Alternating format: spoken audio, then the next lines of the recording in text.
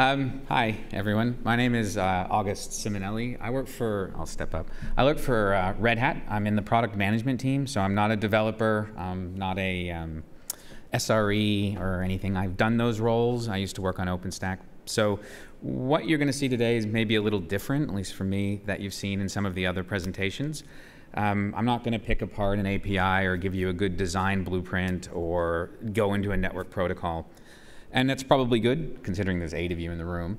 And they don't know what they're missing. And that you can probably hear the clang of the drinks happening out there. So we'll, um, we'll probably get through this quickly. But what are we actually going to talk about? Let's make sure that's working. Yeah. I'm going to tell you a story today, um, something that uh, makes all the things that you do in your day, your CRDs, your APIs, your code, it's something that makes it all work. Um, it's not a technical solution, but it is something that you need to make all this work. And that's the story of open source um, and of community. And um, it's not something you probably don't know. In fact, I assume everyone in here does because you're here. But it's something we need to be reminded of. It's also something with AI coming down, barreling down on us, that I think we have a lot to learn about. Because we're kind of looping, as I'll talk about in this presentation, back to some old habits. And so as a Red Hatter, it's important that we remember how we got where we got. So kick back, relax for the next, I don't know, 20, 30 minutes, and let's take a look at the history of the Open Cluster Management Project. So let's take you back to 2017. It's eons ago, right? Star Wars Episode 8 is the top movie, and that should really set your context, right? It's like, I don't remember that time.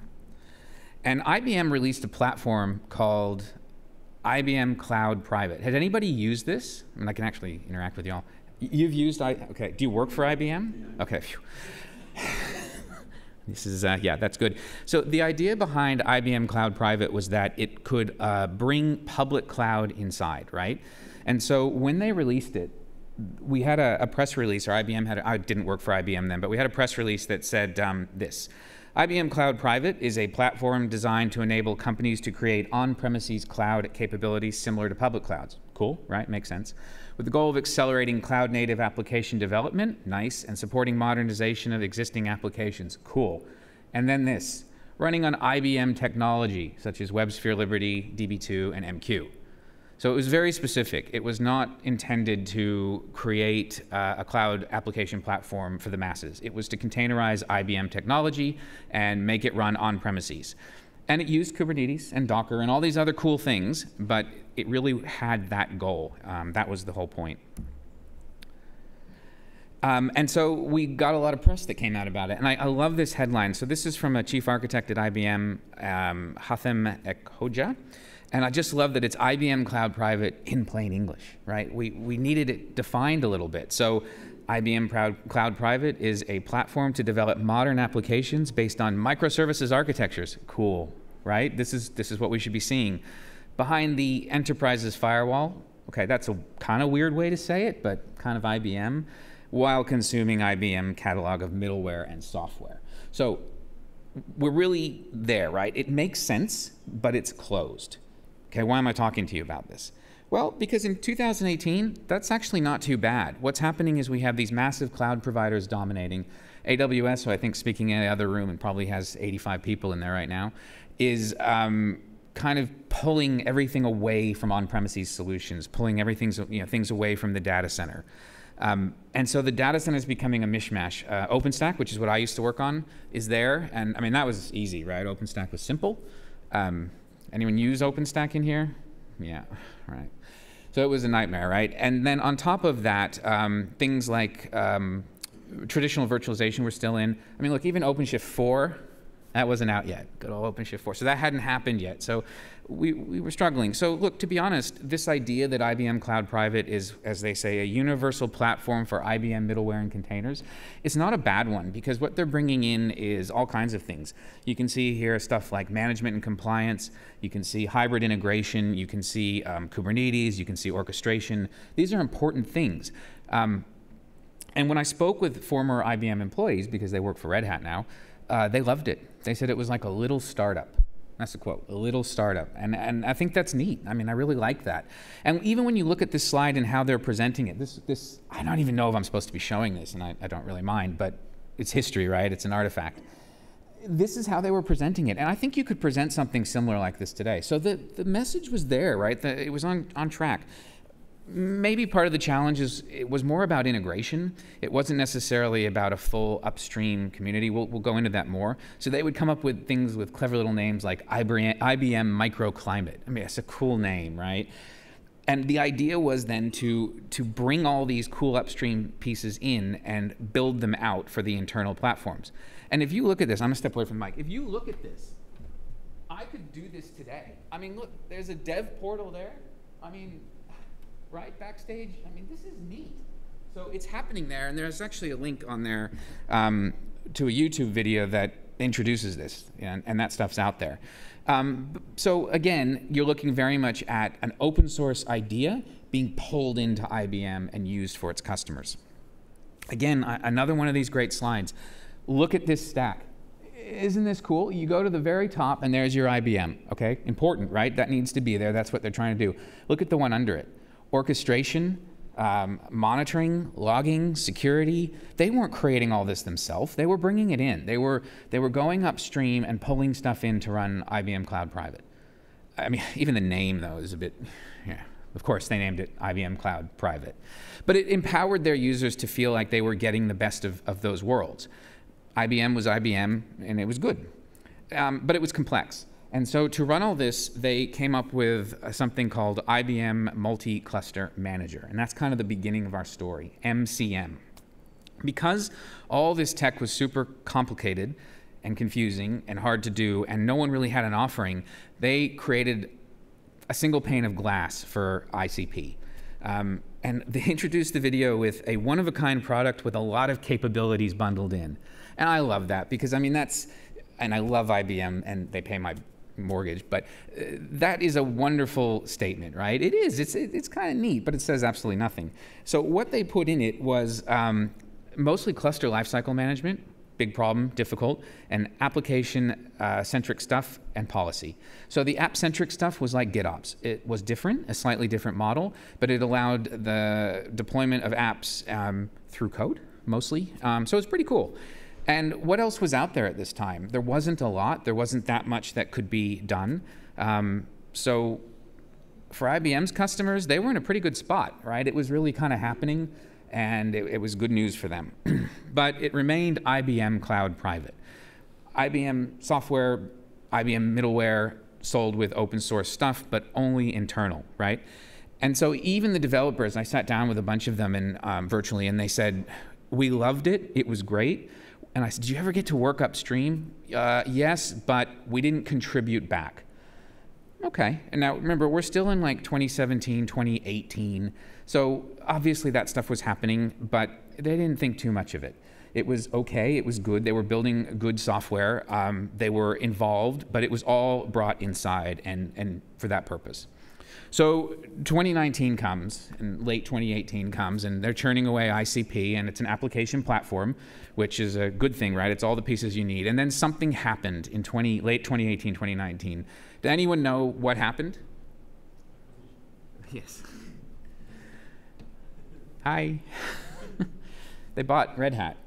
Um, so uh, IBM decided it was time to to find to, to, to redirect that open source spirit that they actually had internally um, and really uh, accentuate it.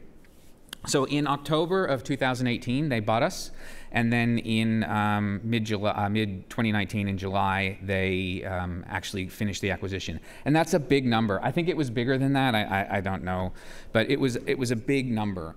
Um, the problem for IBM that happened there is IBM Cloud Private kind of did what OpenShift did, or should I say OpenShift was on its way to doing what IBM Cloud Private did.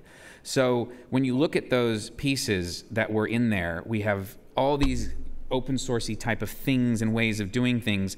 A lot of this is, is in OpenShift or was on its way into OpenShift. So they actually shut down ICP. And this is where the story gets interesting, right? So we have MCM, Multi-Cluster Manager, and it's this closed source, very IBM thing that's doing very good things, making the company a lot of money, uh, wrangling all this great stuff, and now the main platform gets shut down. And yet, it's a good time because they knew how to do multi-cluster management. So suddenly MCM becomes the key. It becomes the piece that IBM wants to try to push back out and say, look, we've learned how to do this. We want to open this up because we want to make this better for everyone and because that's what Red Hat helps us to do. So they wanted to really make this something that IBM and Red Hat would focus on, multi-cluster management, because there wasn't much going on in that in those days. So a strategy was created, um, and this is where it works at Red Hat, right? When we acquire companies, and I've seen plenty, I've been at Red Hat for over 10 years. When we acquire companies, we, we open source everything. So when we got CloudForms, we open sourced it. People said it wouldn't happen, or oh, we can't get that done we require it. There's just really no going around that. You have to bring it, you have to open it to productize it. It's just a necessity, it's a requirement at Red Hat. So that was going to happen to MCM. And that's kind of neat, but how do you do that? How do you open source something that's closed? You know, are you throwing this thing on the scrap heap? Is it going to become something that you can't make money off of? And I mean, it's cool to be open. You know, bless the CNCF. That's what it's about. But we're also in this to make to make money, so we can fund it. So what do we do? We come up with a plan. And this is the original slide with some slight alterations for um, public consumption to talk about the open source strategy in 2019. So it's simple, a project for multi-cluster management, assisting customers to easily manage their environments. And that's pretty cool. And so what happens inside of Red Hat is we have a open, uh, Red Hat open source program office, and they work with the new piece of software, whatever, and they create an upstream um, project. And that's where openclustermanagement.io came from. So now we're going to evolve from MCM to OCM. We um, have all the legal and business approvals and naming that has to happen, and Red Hat shepherds that. It's something we know how to do very well. Um, we also have core Kubernetes contributors like David Eads and Paul Morie, who had actually been at IBM, who are at Red Hat. They're adding to this. They're helping to write a community charter. Again, IBM's taking a risk here. It's going, oops, it's going, am I going to lose this thing? Is this, is this, you know, have we lost something? Are we going to have to hand this out? But they ran with it. Um, and so they mostly focused on this kind of server foundation piece and the app lifecycle, the, the toughest areas to do.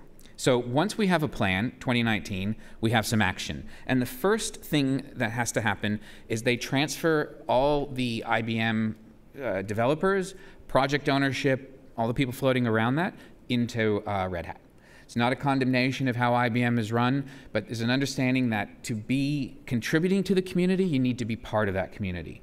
So I asked the developers, oh, you know, did that make you nervous? And no, not at all. They loved it. They loved that they could move over. They had been kept in a fairly um, closed space, and so now they were being able to, to kind of see what else they could do. The next thing they did is they encouraged them to work in other upstream projects.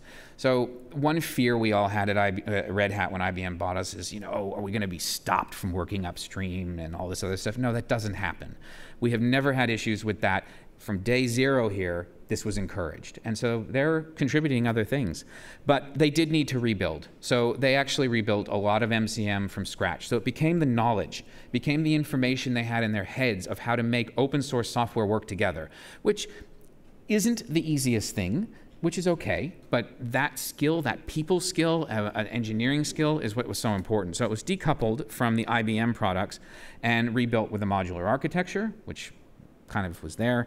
It would now run on any Kubernetes, so it wasn't ICP based or whatever version of that would be.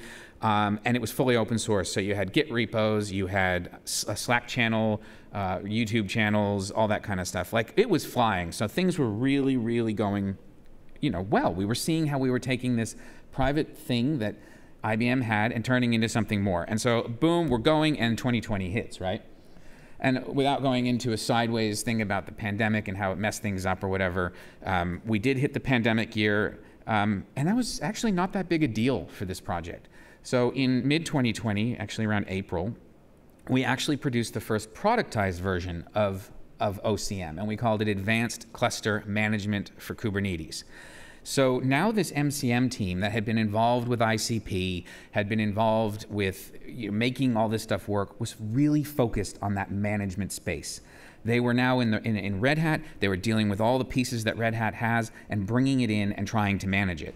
And then upstream, this, this same, there was a really exciting change happening too, where this tool that was originally all about rolling up IBM stuff and making it amazing was now um, able to be productized, but also as a community upstream. And so you have this whole basis for um, a commercial offering sitting on top of a standards thing happening. The ability to say, okay, we're not just a tool, but we're also a standard. And, and I really want to double click on that. When you talk about a cluster manager, you're talking about a specific tool or software that's responsible for something, for orchestration or whatever, and it needs to be open source, right? We, we don't question that. And that's super important, and everyone in here gets that. But when you want to take that to the next level, you want to look into cluster management, right? This is a process or an ecosystem. This is the tools. Most importantly, this is the community that surrounds the management of multiple clusters. So we go from a cluster manager, multi-cluster manager, to the open source, uh, or sorry, to the open cluster management project or Red Hat Advanced Cluster Management, however you, whichever way you come into it. But the key is that we've now put the community and the standards first. So we've evolved from MCM, we've gone to OCM, and we're now starting to form a community. So we need to get it out there. Yeah, Red Hat can sell it. I don't know how well it sold in, in 2020, um, but it was out there and we were talking about it. Small disclaimer, I am in the product management team for ACM, so this was sort of a, a labor of love for me because I joined the team and I was like, what is the history of this thing? So that's where I came. So I feel passionately about ACM, but I was just really curious how it came together. So 2021 comes, and we get out there, and we're able to start sharing again virtually, and we're going to introduce it. So the engineering team gets to introduce it at DevConf USA. So Mike uh, introduced it. Now he was an IBM employee, and now here he is at an open source conference sharing his piece of software. And I sat down with him like a couple weeks ago and we were talking about this. And he, he, goes, Open cluster management is really about being able to bring together many different parts of the community and deliver a holistic solution to simplify fleet management across the open hybrid cloud at scale. I mean, what a turnaround, right? So he's he's now really into it, and he's speaking of community and not tooling. It's not just about bringing stuff in and making it work with IBM. He's talking of standards and not just integrations, not IBM microclimate, but literally, let's be a community around how we control multi-cluster. And when you look at their original slides, they're really cool because it's all shifting away from having our branding and, and all this other stuff to looking at what the projects are doing and creating a managed cluster API that we can present to those projects. So they can come in and say, ooh, clusters are getting big and popular and everybody wants to do it. We need a simple way to manage many clusters. So when you look through like the Argo docs and stuff, you'll see references to the OCM project and to the managed cluster API. Um, and that's that's you know that's a huge evolution, and that's being you know strongly worked on by that IBM team, which is now a Red Hat team upstream, and and building that out. And it's global. Mike's in Canada. Much of the team are in China. So it's you know it's really kind of neat. It's coming together. Um, and so then we are able to actually um, produce this this piece of software that does a lot. You'll see different pieces in there. We have OpenShift Hive in there. Okay, CAPI is probably going to happen more a bit there we'll see what happens there. But um, we have a governance and compliance framework. We have uh, cluster manager running. Um, the klusterlet idea is there. Argo, OPA, things like that are starting to use it. And this is making it much simpler for the community to join and add and to tr try it out, see what will happen, see how they like it. So 2022 hits, we start opening back up, and uh, I use that as a metaphorical key for our, our journey because OCM takes its next big step. And in 2022, OCM was donated and accepted into the CNCF as a sandbox project. So the founding members that are Ant and Alibaba, Red Hat, and IBM were able to offer a managed cluster API in a way so that everyone can represent Kubernetes clusters. That meant things like community meetings start happening. It means external companies can get more easily involved, can feel less uh, challenged by the environment they're working in. Um, and it, it's valuable, as Mike said, there's a difference between uh, open sourcing something and building a community around those open components. What this mostly means is the governance becomes neutral. And I think that's something that probably everyone in this room understands. But when we look at the history and how we need to go forward with things like AI, which we'll touch on, um, we need to really be in that spot. We need to make this stuff remain neutral and accessible to lots of vendors. It doesn't mean we don't make it something they can sell and, and, make money off of, but we have to stay in that space. It's not just open source and okay, that's good. It's actually creating those communities around that to make it work. So OCMIO was mostly foundation, app lifecycle, and governance, but they're adding things into it externally, like insights, telemetry, better user interface, stuff like that. That's coming from the community and helping that product and project grow. And now the focal point is the SIG, uh, SIG multi-cluster, right? I think they had, is anyone part of that SIG in here? I, so I can say this, and if I get it wrong, we just ignore it. But um, I think they had a thing called KubeFed, and that got retired. So it was Kubernetes Federation across things, and it was another tool, not really a standard. But once OCM kind of started popping up in this space, um, it was a really good place for adjacent projects like Argo to adopt this multi-cluster standard to at least participate in this. They could then use a common Kubernetes uh, SIG multi-cluster approved API right? And so now everybody feels comfortable using it. It's open. Multiple vendors are getting in there. Things are happening, and it's it's it's better, right? I think it, it's how we want to be. Okay, so 2023, and I went through a lot of different versions of this slide with weird AI generated calendars, and they were really strange, or cats with like 48 toes, and you know, I just stuck with this one, right? Because we need to talk a little bit about AI and what happened in 2023 is ChatGPT unveiled what they had. I, I, know it's been there for some time, and suddenly it became mainstream. It became something that we, that, that, that the consumers and customers were like, "Oh, I need this. I, I need to have." I need to have something in my in my uh, developer environment. My fridge needs to tell me what to make for dinner. Um, these things are going to come, right? So the problem is is that when this got released, this very popular one from OpenAI, the LLM was very closed, and that's not great because we're kind of setting ourselves back again.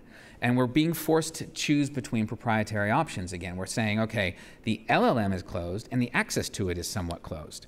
And that's kind of wasteful. So, and it creates a bit of fear. We're right back to where we were, where if like things like MCM had been kept closed, no one would jump on board and we wouldn't get these multi-cluster standards. So we're in a kind of dangerous spot. So we need a few things.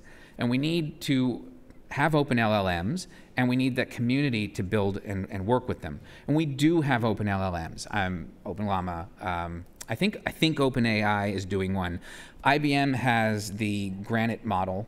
And that's really cool because suddenly now developers and makers and tinkerers and everything are, are going, oh, I can pull an LLM down and I can do something. And remember, I'm back in time a little bit. In the last 12 months, even, this has exploded so that you could see demos like you just saw, or if you were in here, uh, we saw um, a chat, oops, a chatbot inside of um, Backstage. That made this happen more quickly so that we could actually have these open, open um, tools. So that's really cool, but again, like OCM being open, it's just a tool. So we actually need more.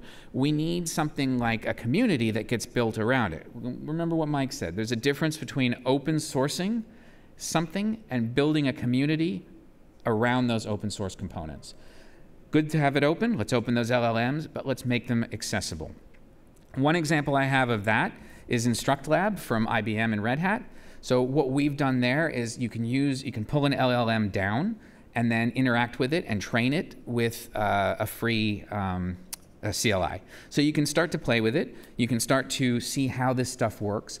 Yes, it's not, we're not there as completely open AI, or bad example, whoops, bad example because of the branding there. But, but what we have is now a community starting to interact. I had never tra trained in LLM, and then you know they said, check this thing out. I get on there and I, I taught it to like, I said, what is OpenShift? And I said, it's a brand new washing machine. And I got the thing to answer that way. And then I thought, oh, that's weird. I can do that. So I tried submitting that up to the code so that others could take it, and it got denied. A human looked at it and said, it's not a brand new washing machine. So I'm now getting to see how these things get trained. You know, we worry about what's in this data. Fine, keep them keep them somewhat closed. You know, protect your data, but we need to know how they're born and how they work. We need to know the community around them and how they exist. And that allows like developers and students and everyone to start to play with this tooling a lot more. So what's next? Um, I don't know, but I feel like we have a blueprint. When we, what we saw IBM do with MCM, kind of take its hands off, let it go, it turned into something. Red Hat has been able to productize it, which is not a dirty word. It's not bad. We saw success. We saw that it, it was okay to open these things up. And I think that for these companies that are still kind of holding on to that, we need to reteach them as members of this community as well. We need to let them know this does work. You won't lose things and you'll still make money. Your shareholders will be happy, whatever it may be. It's important. So, what we really need to remind them is simply this open makes AI and everything else better.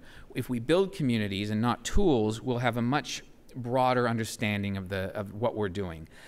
So I'm going to summarize up in a couple of lines here, and then we'll release to the drinks and everything. But when it comes down to it, we need to build open source, open communities, and open standards. That's obvious.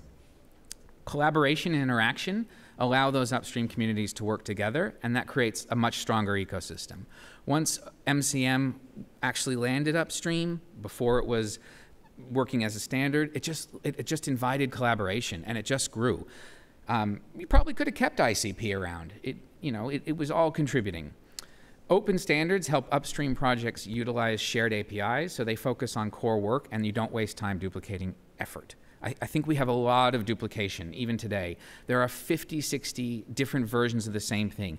That's okay as long as they're based on a standard. And we have to keep that somewhat aligned. We need to use the multi-cluster standard for multi-cluster and then grow that out. It doesn't lock it into anyone, but it grows out.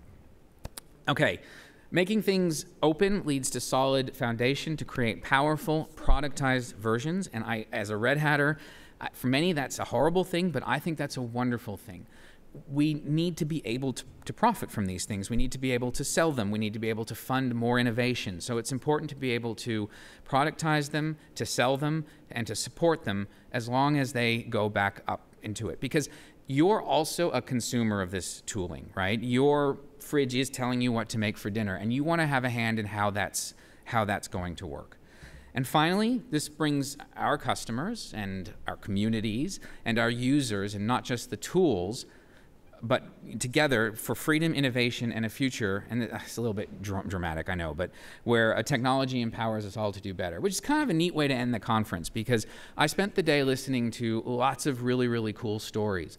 But I really want to know at, you know, at the end of the day, does it work? And I think it does. And I think we can take a little version like OCM and show that even a company as big and old and creaky as IBM can take something like that and take a risk and let it go through this process and succeed.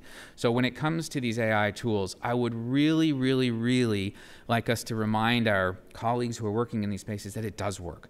It doesn't matter you, how many are you know, floating around and, and, and you're worried that you're going to not be able to do it. It does work. And how do you do that? You join.